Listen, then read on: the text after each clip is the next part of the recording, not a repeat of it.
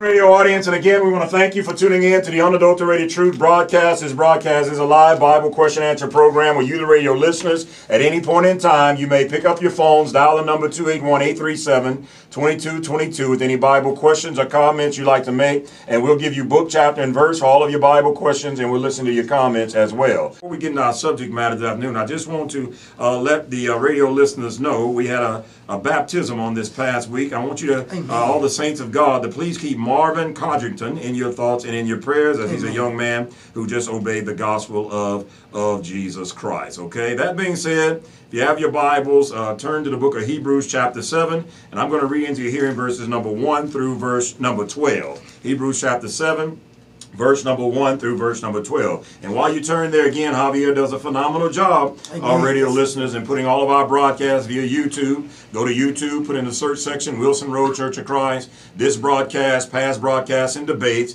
uh, are left there for your viewing and for your studies and for your comments. And uh, we appreciate all of you and your support and your subscriptions. In Hebrew chapter 7 and verse number 1, the Bible says, For this Melchizedek, king of Salem, priest of the Most High God, who met Abraham returning from the slaughter of the kings and blessed him, to whom also Abraham gave a tenth part of all, first being by interpretation king of righteousness, and after that also king of Salem, which is king of peace, without father, without mother, without descent, having neither beginning of days nor end of life, but made like unto the Son of God, abideth a priest continually. Now consider how great this man was, unto whom even the patriarch Abraham gave the tenth of the spoils.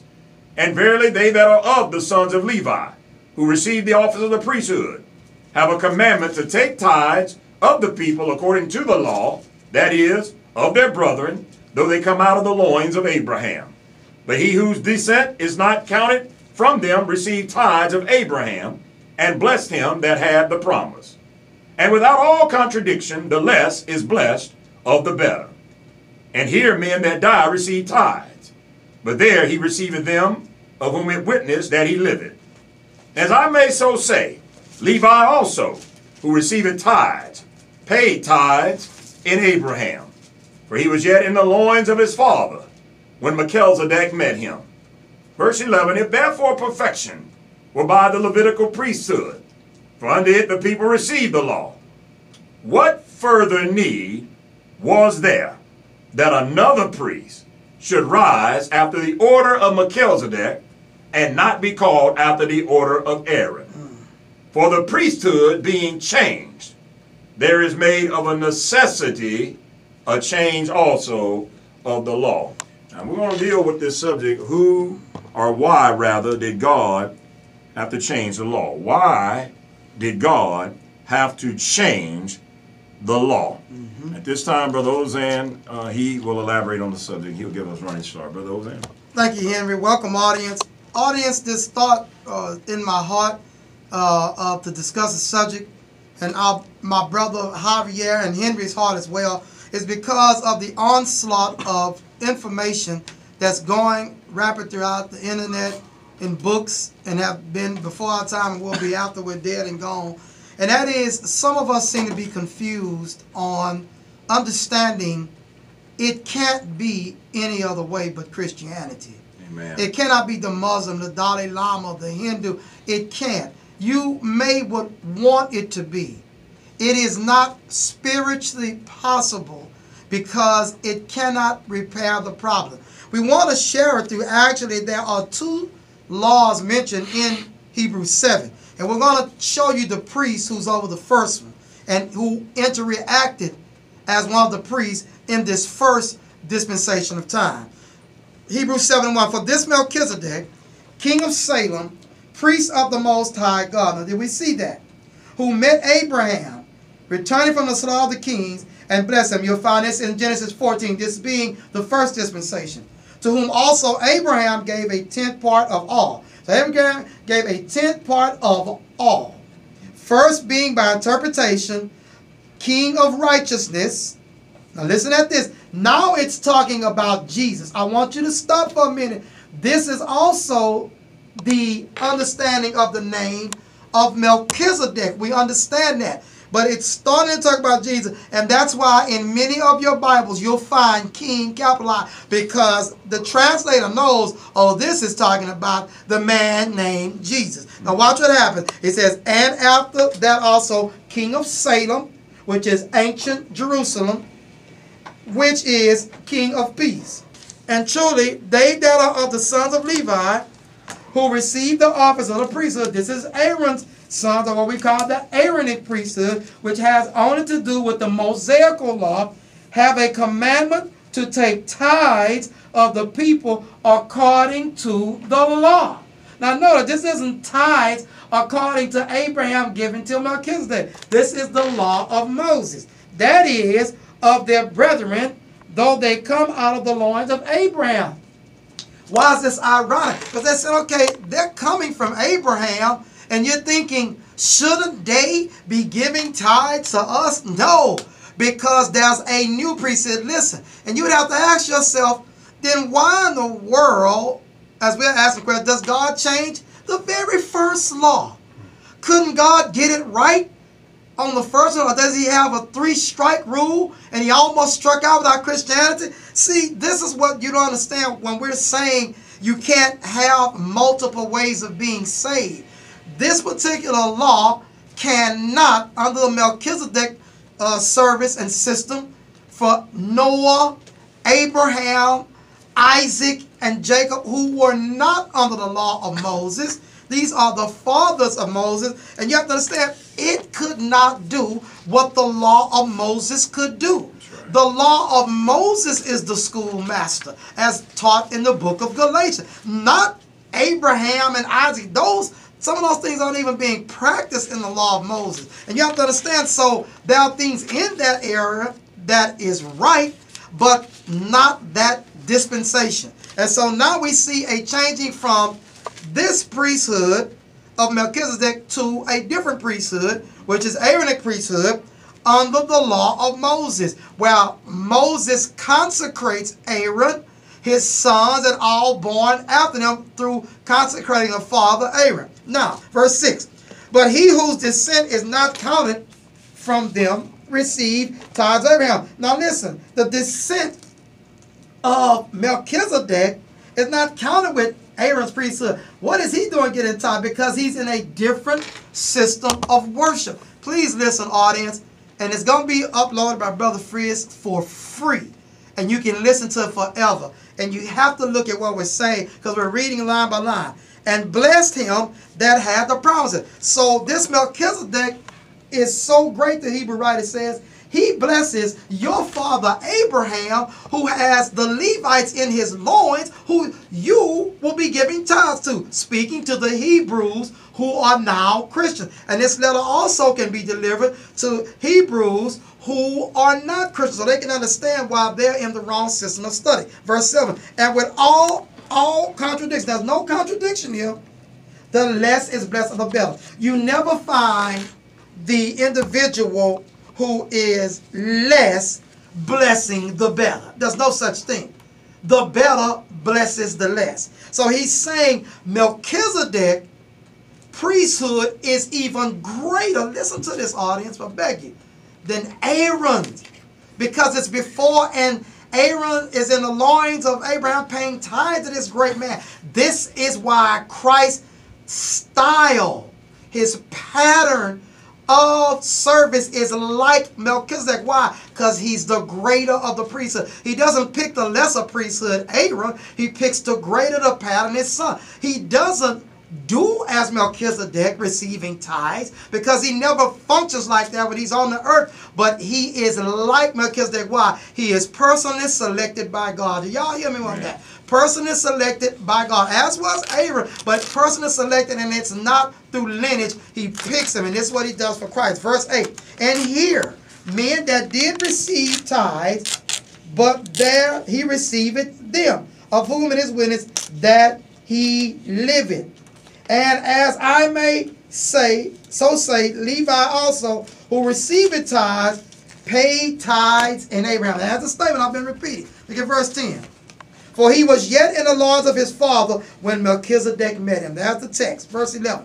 If therefore perfection were by the Levitical priest, now listen to the argument. Why did God have to change the law of Moses? Right. Here's the explanation. Audience, don't you love to have an answer read from you from your father? And not some want to be God like a man like me? Why do you not embrace what we do and feast off it and be baptized to be saved? Listen what he says in verse 11. If therefore perfection were by the Levitical priesthood, for under it the people received the law. And there it is. What further need was there that another priest should rise after all Melchizedek? What do we need Jesus for? We have Melchizedek. We've got Aaron. It's the schoolmaster getting us prepared. It's the law that God says, okay, you know, this is coming between me and you. What do we need another guy for? Let the Bible tell you why. And not be called after the order of Aaron. Why is that there?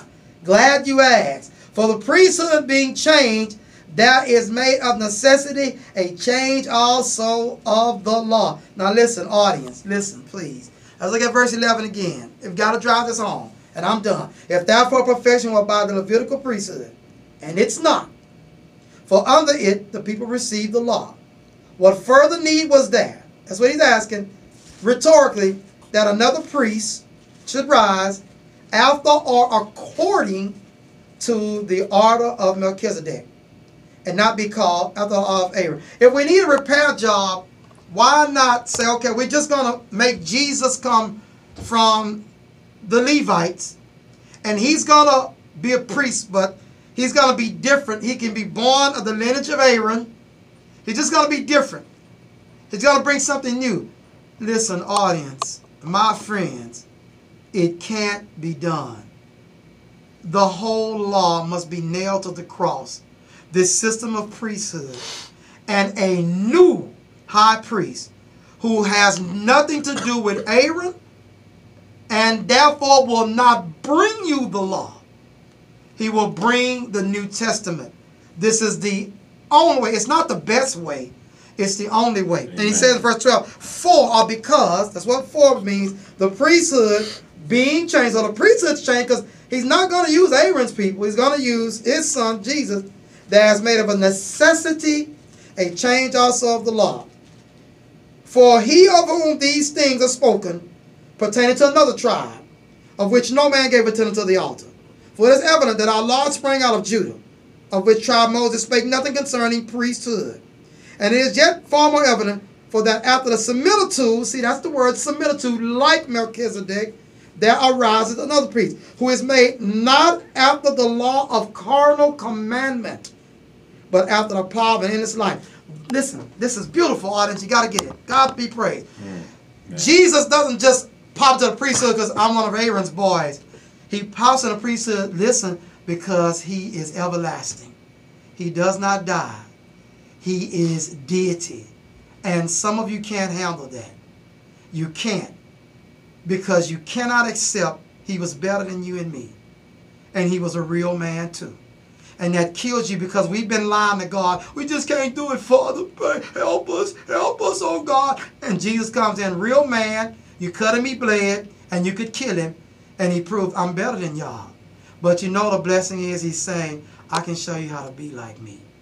I'm not going to own it and boast and be above you in that sense. I want you to be like me as I was on the earth. You'll never be equal to Christ spiritually, but you can be like he was on the earth. And that's his desire. That's why he gave his life for that. And this is the idea. He says, How was he done? Verse 17. For he testified, Thou art a priest forever after the order of Melchizedek.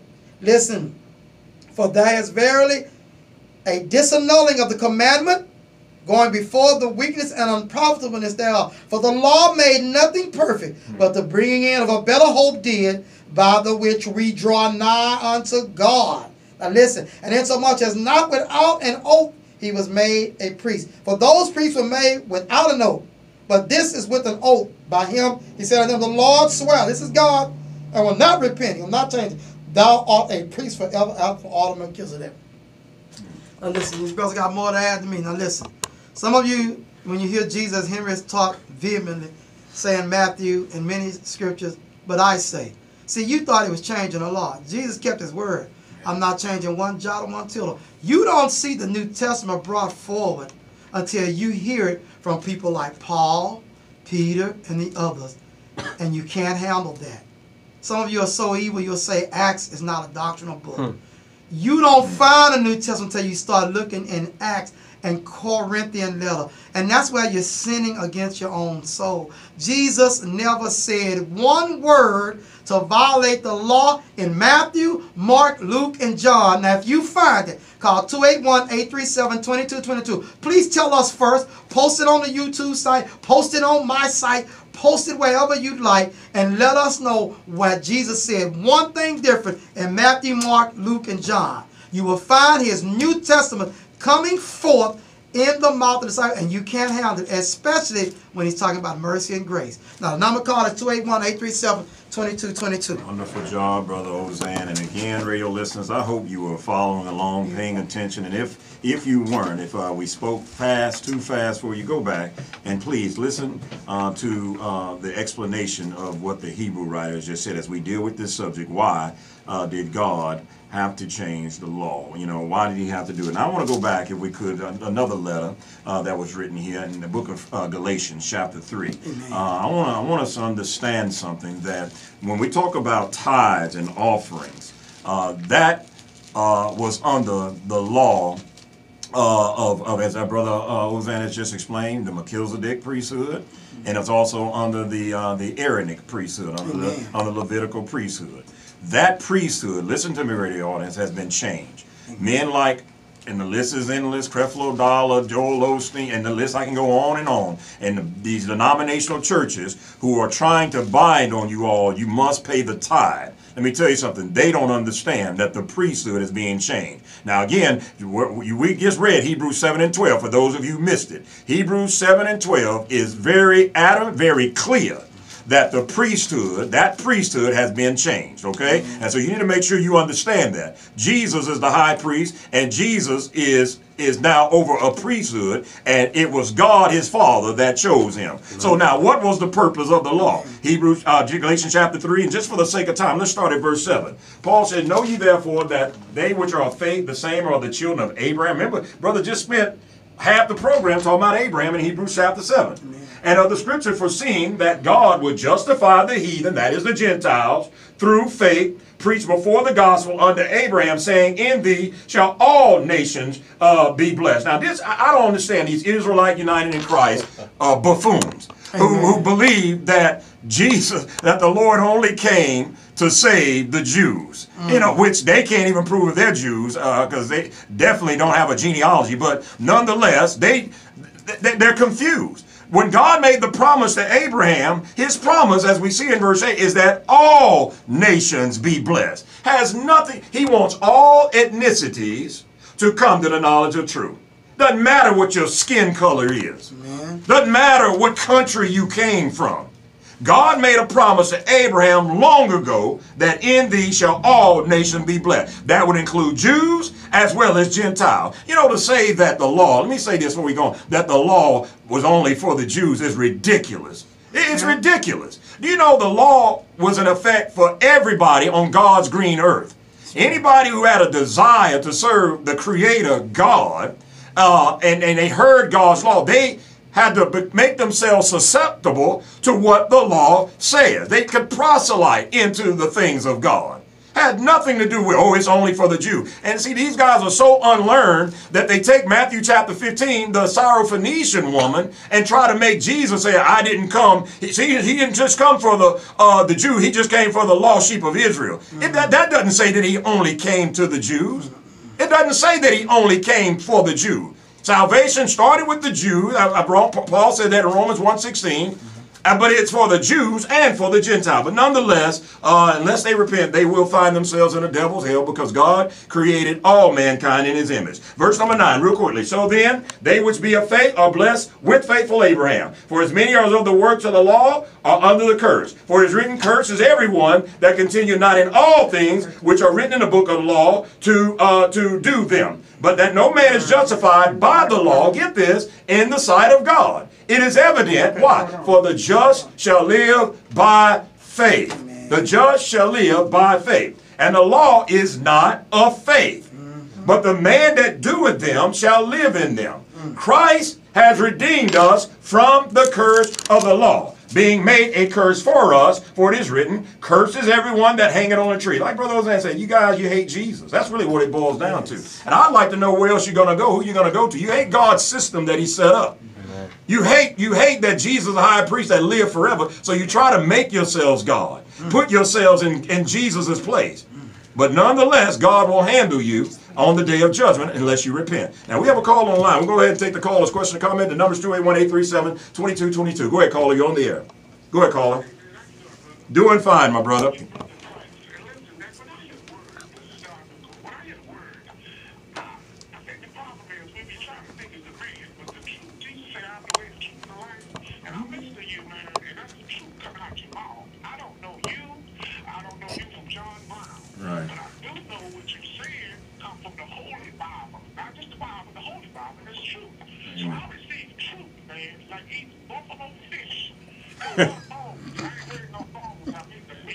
Amen. Well, God bless you. Well, let me ask you something before you hang up. Are you a member of the church? What church do you attend? What church I attend? Yeah, do you? I, I attend the church that Jesus Christ is built upon, that rock that he said the gates of hell is not prevail. Amen. Amen. Okay. Amen. Well, God, well, God Amen. bless you. And, uh, like I said, uh, appreciate your phone call and.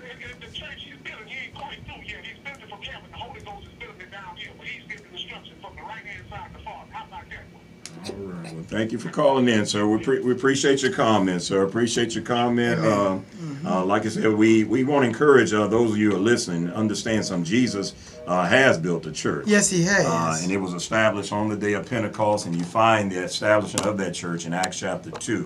Uh, did in fact come down from heaven.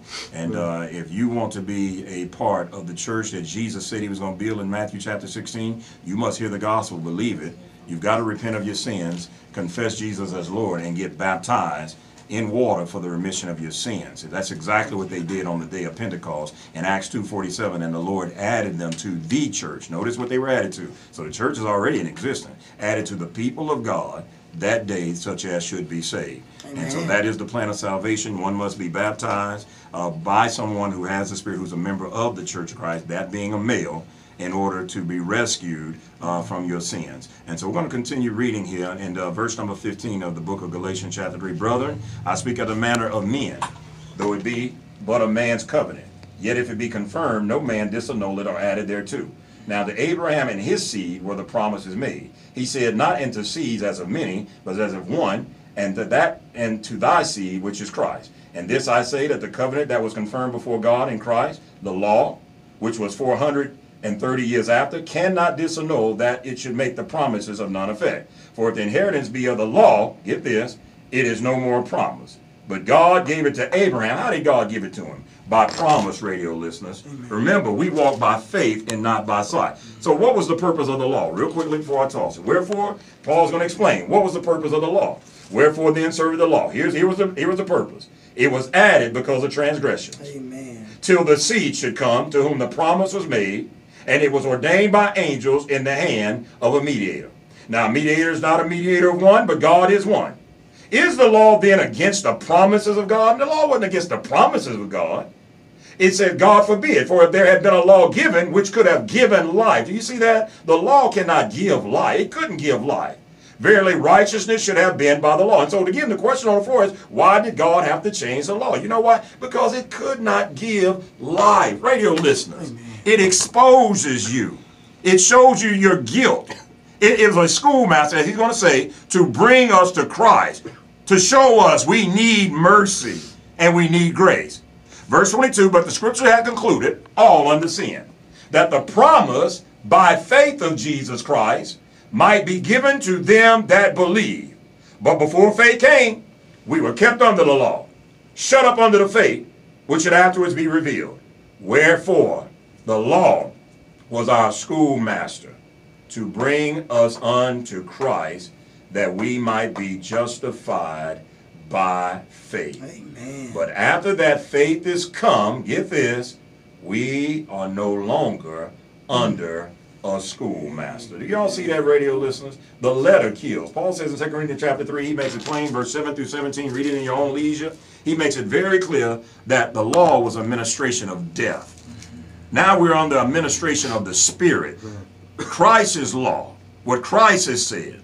The church. This is where the Spirit of God, we receive Him and we live spiritually now. For as many of you, when did this happen? Look at verse number 26. For you are all the children of God by faith in Christ Jesus. know that he didn't say faith only. He said by faith in Christ Jesus. That means you're going to have to be obedient. That's something you're going to have to do. For as many of you have been what? Baptized into Christ. Mm-hmm. Have put on Christ. Do you see that, radio listeners? Just, start, just mention that. This is the plan of salvation. You've got to hear the gospel, believe, repent, confess, and be baptized into Christ to put on Christ. Mm-hmm. And then he says in verse 20, there's neither Jew nor Greek, there's neither bond nor free, there's neither male nor female, for you are all one in Christ Jesus. And if you be Christ, then are you Abraham's seed and heirs, how? According to the promise. Amen.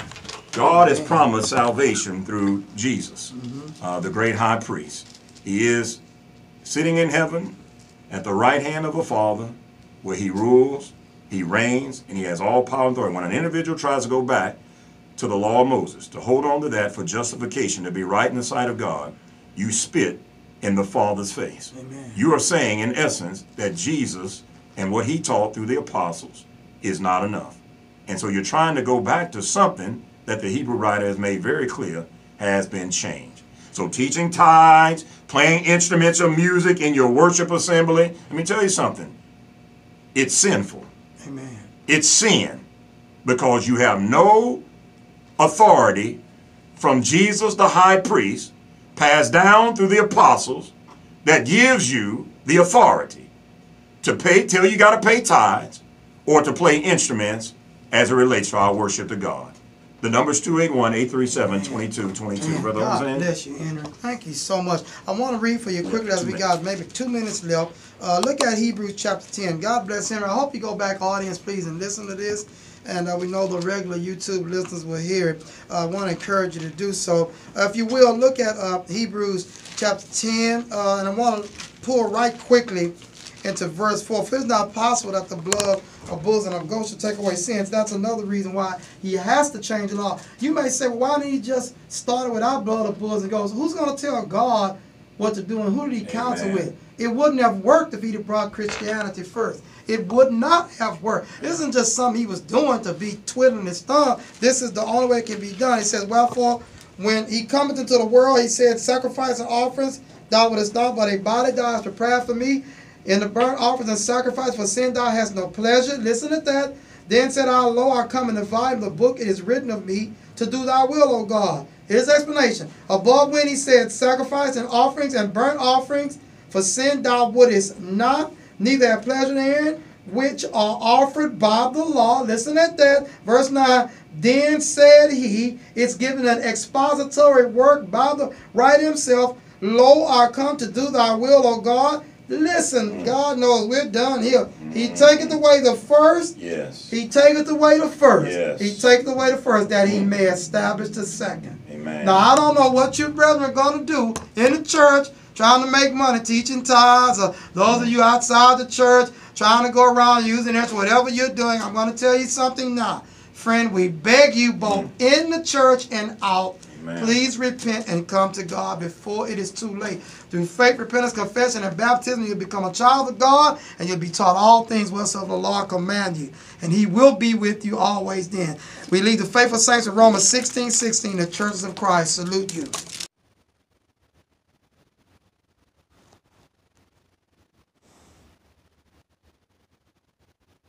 This was a blessing, brother. You know, and, and, and when we look at this, this is what gets me, man. This verse here, he take it away the further man starts saying, you know what? Something you had said last week that reminded me of. We gotta understand, brother. He never changed anything in Matthew, Mark, Luke, and John. They get excited and say that. But I say, if he'd have changed it, I thought you wasn't changing a Right. child of children. You changed the whole passage. So when and see, this is what Javier. Remember Javier when he had that battle with uh, Max Dawson and those Yeah, guys that didn't know what they were right. talking about at yeah. Goose Creek. Right. Javier had informed them, you don't accept the New Testament. That's why you won't be saved. Right. It's spoken. I remember, I remember, I remember sitting there listening to Javier battling them, and I remember my light bulb went on my head. I said, that's it. They won't accept what Paul has said, which is New Testament advice, 1 Corinthians 7. They won't accept what Paul has said as New Testament law. They won't accept what Peter has said as New Testament law. Those are the laws that show change. That's why I can now take the wife Back, back. right. But if I can't be reconciled, they want to make a law that, well, you're just stuck. But he has advice. Right. It is better for you to marry than to burn. But Exactly. they, they don't want to take that advice, but they took Moses' advice and they like to keep it. Right. That it's okay to keep to the it. See, and we're not teaching that either. Isn't that Right. ridiculous? Yeah. And that wasn't Moses' intent. Right. And the Lord said, because of the hardness of your heart. But he stressed and went right back to the law Moses wrote. But I say, except this for uncleanness, fornication, which is the word, you put them away, you'll be an adulterer or an adulteress.